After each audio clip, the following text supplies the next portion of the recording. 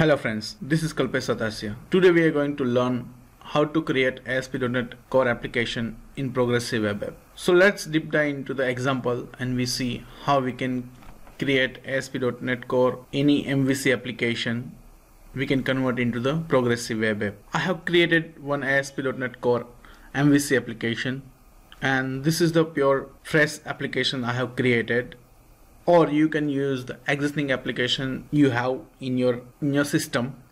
So let's see that this is the pure applications. There will be a controllers and view and model nothing this default templates which provide by Visual Studio.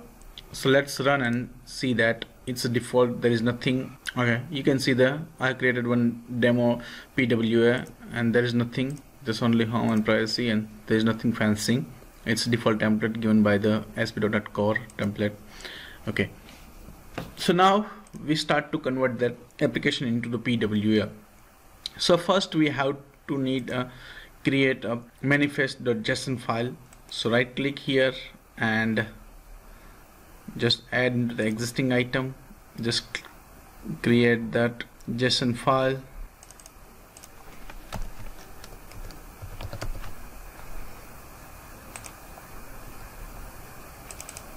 and for JSON file and this is the content which I have copied from and you can just copy. I will I will add that uh, github link into the description section so you can refer the code as well.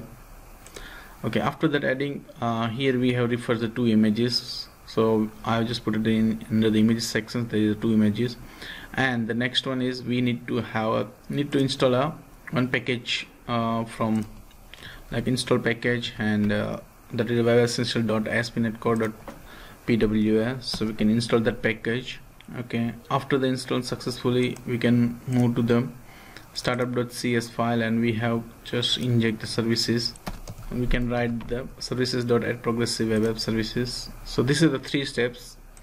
We can create the manifest.json files and related uh, all the icons we need to add into the image folder.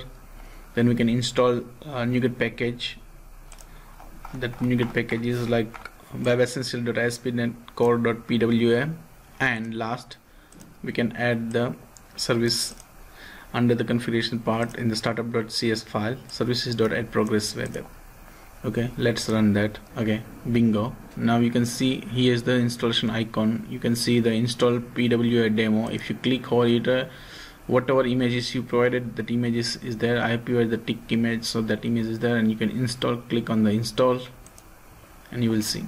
You see that? That is totally independent on the the tab and you can navigate everywhere.